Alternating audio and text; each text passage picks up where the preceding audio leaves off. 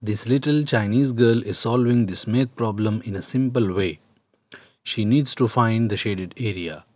So she draws this, then she draw this. Now this area is equal to this, this area is equal to this and this area will be definitely equal to this. So the width will be 5, the length will be 20 and the required shaded area will be equal to 20 multiplied by 5 which is 100 centimeters square. Subscribe for more videos.